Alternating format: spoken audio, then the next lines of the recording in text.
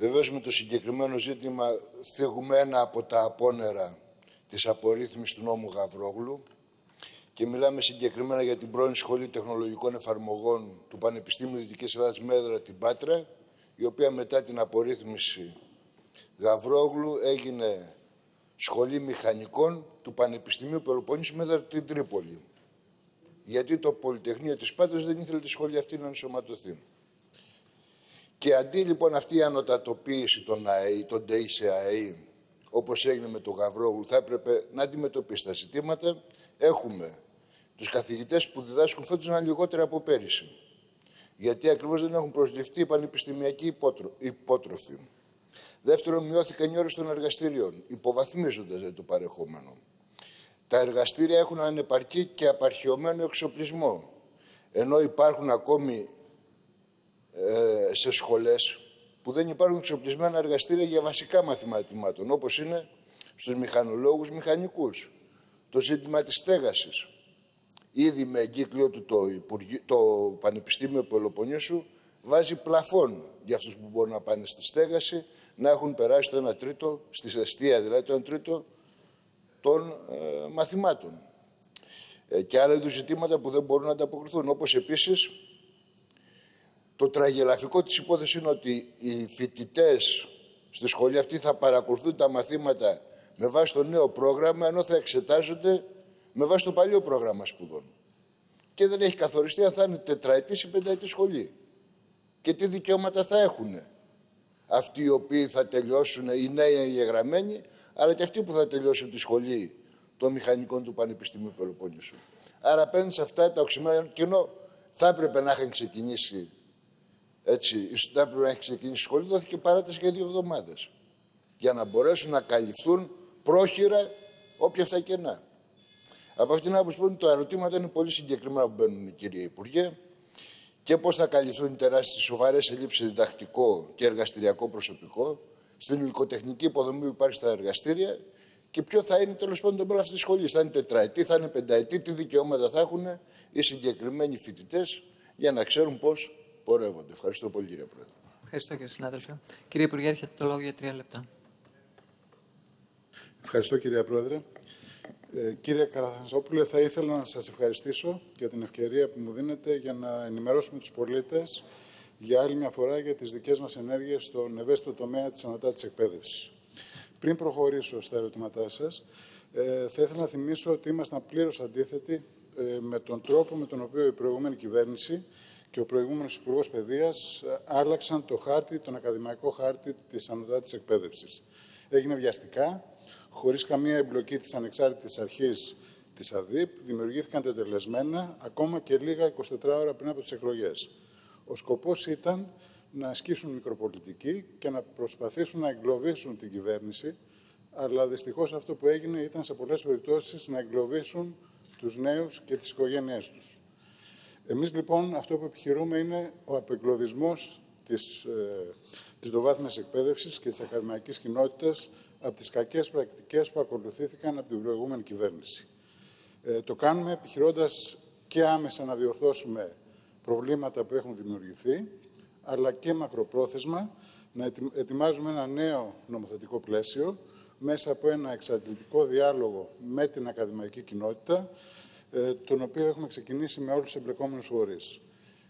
Θέλω πρώτα να κάνω μια σύντομη αναφορά στις ε, συνολικές και θεσμικές παρεμβάσεις θα αναβαθμίσουμε τους θεσμούς, όπως την ΑΔΥΠ, την Ανεξάρτητη Αρχή ε, Αξιολόγησης και Διασφάλισης της Ποιότητας στην Ανώτατη Εκπαίδευση. Θα προχωρήσουμε σε στρατηγικό σχεδιασμό βασισμένοι σε διαδικασίες που θα λαμβάνουν υπόψη τα αποτελέσματα της αξιολόγησης. Μόνο με αυτόν τον τρόπο μπορεί κανείς να πετύχει μακρόχρονη και βιώσιμη πολιτική στην τριτοβάθμια εκπαίδευση που τόσο του έχει ανάγκη. Επειδή υπηρετώ 25 χρόνια στο Πανεπιστήμιο, επιτρέψτε μου να φέρω το, το εξής αρνητικό παράδειγμα. Τα πανεπιστήμια ε, διαχρονικά υποβάλλουν τις προτάσεις τους, τις εισηγήσεις για τον αριθμό εισακτέων, τις οποίες οι ηγεσίες του Υπουργείου Παιδείας δεν τις ακούν. Εμείς, ως νέα ηγεσία, έχουμε διπλώσει ξεκάθαρα. Θα λάβουμε υπόψη τον προδιορισμό του αριθμού εισακτέων που θα μας δώσει το κάθε πανεπιστήμιο, το κάθε τμήμα ή κάθε σχολή. Πρέπει να μπει ένα τέλος με τη μικροπολιτική διαχείριση της τριτοβάθμιας εκπαίδευσης, όπου χωρίς να εξασφαλίζονται οι ανάλογοι πόροι, υπήρχε συνεχής αύξηση του αριθμού εισακτέων. Τα ιδρύματα είναι, γνωρίζουν καλύτερα από τον καθένα ποιον αριθμό φοιτητών μπορούν να εκπαιδεύσουν και μέσω του στρατηγικού σχεδιασμού μπορούμε να εξασφαλίσουμε επαγγελματική προοπτική στους αποφύτους των πανεπιστημίων. Θα έρθω τώρα στα ειδικά ερωτήματα που βάζετε για το Πανεπιστήμιο Πελοποννήσου. Χρηματοδότηση υποδομές. Από τις πρώτες εβδομάδες ξεκινήσαμε προσπάθειες στο Υπουργείο για να βρούμε επιπλέον πόρους. Προχωρήσαμε και ανακοινώσαμε πρόσφατα έκτακτη επιχορήγηση για τα πανεπιστήμια 12,5 εκατομμύρια, από τα οποία το Πανεπιστήμιο Πελοποννήσου θα πάρει περίπου 800.000 ευρώ. Συγχρόνως, ε, θέλαμε να κάνουμε μια χαρτογράφηση των δυσλειτουργιών και των προβλημάτων που είχαν τα πανεπιστήμια και ειδικά αυτά που είχαν συγχωνεύσει στον πρώην ΤΕΗ. Έστειλε λοιπόν τον Αύγουστο επιστολή προς τους αρμόδιους αντιπριτάνης, προκειμένου να δούμε ε, τι προβλήματα έχει το καθένα ειδικά. Ε, όλα τα πανεπιστήμια μπορώ να σας πω ότι ανταποκρίθηκαν και μας έδωσαν αναλυτικά στοιχεία για τα ζητήματα και που τους απασχολούν και που έχουν προκύψει από τις συγχωνεύσεις. Τώρα, όσον αφορά τα θέματα μη επάρκεια υλικοτεχνικών και εργαστηριακών υποδομών, θα ήθελα να επικαλωστώ το έγγραφο του Πρίταν του Πανεπιστημίου Πελοποννήσου, ο οποίος δεν επιβεβαιώνει τα όσα αρκετά δραματικά αναφέρεται. Προφανώς υπάρχουν τροποποιήσεις ε, στο πρόγραμμα σπουδών, μετάβαση από ΤΕΗ σε πανεπιστημιακά τμήματα, ε, προκειμένου να καλύψουν τις ανάγκες παράλληλης λειτουργίας και των πανεπιστημιακών τμήματων, αλλά και των τμήματων των πρώην ΤΕΗ. Ε, και δεν αντιλέγω ότι υπάρχουν και θέματα εξυγχρονισμού. Όσον αφορά το διδακτικό προσωπικό, ήθελα να σας πω ότι έχουν ήδη κατανεμηθεί συνολικά στα πανεπιστήμια 500 θέσεις ε, μελών ΔΕΠ, καθηγητών, από τις οποίες 26 θέσεις έχει πάρει το Πανεπιστήμιο Πελοποννήσου. Έχουν δοθεί 27 θέσεις στο Πανεπιστήμιο Πελοποννήσου διδασκόντων με το οποίο ΔΕΛΤΑ 407 του 1980, ενώ επίσης είναι σε φάση έγκρισης η διαδικασία πρόσληψης ενός σημαντικού αριθμού έκτακτου εκπαιδευτικού προσωπικού. Τέλος, υφίστανται και οι προσφερόμενες θέσεις ε, για απόκτηση διδακτικής εμπειρίας από κατόχους διδακτορικού ε, και θα δοθούν αντίστοιχα στο Πανεπιστήμιο Πελοποννήσου και στη Σχολή Μηχανικών 16 θέσεις από αυτή την κατηγορία. Στις μεταγραφές. Αναφέρατε το θέμα των μεταγραφών. Ε, θέλω να πω εδώ δύο πράγματα. Τόσο για το Πανεπιστήμιο Πελοποννήσου, όσο και σε όλα τα πανεπιστήμια στα οποία εντάχθηκαν σχολές των πρώην ΤΕΗ, σύμφωνα με τους νόμους και την αντιμεταρρύθμιση του κ. Γαβρόγλου, δεν επιτρέπονται μεταγραφές όσων είναι πέρα από το δεύτερο έτος.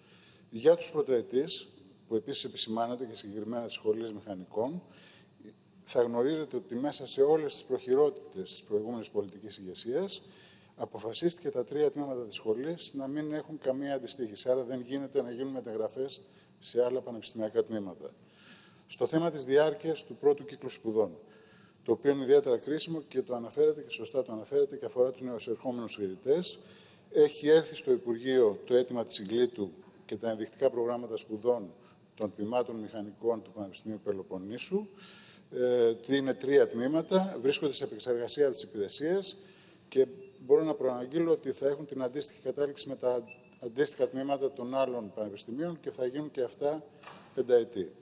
Ε, για να μην πάρω άλλο χρόνο, θα κρατήσω τα θέματα των επαγγελματικών δικαιωμάτων και της στέγασης για τη δευτερολογία μου.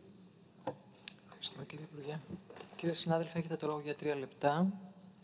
Ευχαριστώ κυρία Πρόεδρε. Βεβαίως τοποθετηθήκατε στην αντιμεταρρύθμιση Γαβρόγλου, όμως το κράτος έχει συνέχεια. Και βεβαίως η μεταρρύθμιση αυτή γίνεται και δικιά σας πλέον. Πρέπει να υλοποιήσετε αυτή την πολιτική που επί της ουσίας δεν ενδιαφέρεται πέρα από επιμέρους διαφοροποίησεις που μπορεί να έχετε, γιατί ακριβώς θέλετε πανεπιστήμια ανώνυμες εταιρείες, υποχρηματοδοτούμενα, υποστελεχωμένα από έμψυχο δυναμικό αλλά και από τα κατάλληλα εργαστήρια, προγράμματα σπουδών τα οποία προσαρμόζονται στις ανάγκες της αγοράς, δηλαδή στις ανάγκες των επιχειρηματικών ομίλων και όχι της, ε, του επιστημονικού αντικειμένου, η υποβάθμιση των πτυχίων με βάση την συνθήκη της Μπολόνιας και την πολιτική της Ευρωπαϊκής Ένωσης, πτυχία πολλών ταχυτήτων, χωρίς επαγγελματικά δικαιώματα, αποσυνδεδεμένα από τα επαγγελματικά δικαιώματα. Και βεβαίως τεράστιες ελλείψεις στη φοιτητική μέρημνα και μια πολιτική σταδιακής ιδιωτικοποίησης. Είπατε βεβαίως ότι έγιναν πρόχειρα όλα αυτά, όμως συνεχίζονται. Και αυτοί που την πληρώνουν επί της ουσίας, το αναφέρατε κι εσείς, είναι οι ίδιοι φοιτητές. Και ιδιαίτερα οι νεοεισερχόμενοι φοιτητές, οι οποίοι πραγματικά δεν ξέρουν πού βρίσκονται. Και από αυτή την άποψη, λοιπόν, άρα τα όποια μέτρα πήρατε είναι καθυστερημένα, κύριε Υπουργέ. Βιαστήκατε να καταργήσετε το άσυλο, γιατί έτσι θα αναβαθμιστούν τα πανεπιστήμια και οι σχολές, θα γίνουν ευρωπαϊκού τύπου πανεπιστήμια, όμως εδώ πέρα υπάρχουν τεράστια προβλήματα. Θα συμπληρωθούν τα κενά, ενώ η περίοδος έχει ξεκινήσει κανονικά, με διδακτικό προσωπικό και εργαστηριακό προσωπικό. Θα αντιμετωπιστούν ζητήματα με τα εργαστήρια, τα οποία είναι πραγματικά πολύ σοβαρά και δεν μπορεί να αεροποιεί ο πρίτανης του Πανεπιστήμιου Πελοποννήσου στην κατάσταση με τα εργαστήρια. Και αυτά που υπάρχουν είναι παλιά τεχνολογία, ας το πούμε έτσι, και αυτά τα οποία λείπουν και βέβαια με τις 800.000 που δώσετε στο Πανεπιστήμιο Πελοποννήσου από την επιπλέον επιχορήγηση δεν μπορεί να καλυφθούν ούτε τα ελάχιστα από τις τεράστιες τρύπες οι οποίες υπάρχουν. Και τα δεδομένα είναι πάρα πολύ σημαντικά και θα επηρεάσουν τη ζωή των ίδιων των φοιτητών. Που ε, υποτίθεται κάναν τόσες κόπους και θυσίες, οι οικογένειές τους ματώσανε, πολλά παιδιά είναι από άλλες πόλεις που έχουν έρθει στην Πάτρα για να παρακολουθήσουν αυτή τη σχολή και τη βρίσκουν τεράστιες έλλειψη σε καθηγητές, σε εργαστήρια και αναγκάζονται να τα πάρουν και τεράστια χρήματα. Γιατί ούτε αιστείες υπάρχουν, τη φοιτητική μέρημνα υπάρχει, ιδιωτικοποιούνται. Σε αυτή λοιπόν την κατεύθυνση είναι οι σημαντικές αγωνίες τις οποίες έχουν και που δεν μπορεί το Υπουργείο να αεροποιεί την κατάσταση με βάση αυτό που του λέει η Πριτανία του Πανεπιστήμιου Πελοποννήσου και ούτε αυτή η λογική το σταδιακά θα λύσουμε τα προβλήματα μπορεί να συνεχιστεί έτσι. Χρειάζονται άμεσες ενέργειες για να γίνουν αυτά τα πράγματα. Και έπρεπε ήδη να είχαν γίνει, κύριε Υπουργέ, να είχαν καλυφθεί αυτά τα τεράστια κενά. Όμως η λογική των πολλαπλών ταχυτήτων σε σχολές, πτυχία και δικαιώματα έχει οδηγήσει σε αυτό το αποτέλεσμα. Γιατί ακριβώς την πολιτική και που εσείς αποδέχεστε ως κυβέρνηση είναι το πτυχίο δεν μπορεί να, να δίνει αυτόματα επαγγελματικά δικαιώματα. Αλλά αυτά πρέπει να πιστοποιούνται από διαδοχικές εξετάσεις, ξαναεξετάσεις, τη λεγόμενη διαβίου μάθηση που οδηγούν ακριβώς στους πτυχιούχους και να μην έχουν επαγγελματικά δικαιώματα και να είναι επί της ουσίας αναλώσιμοι.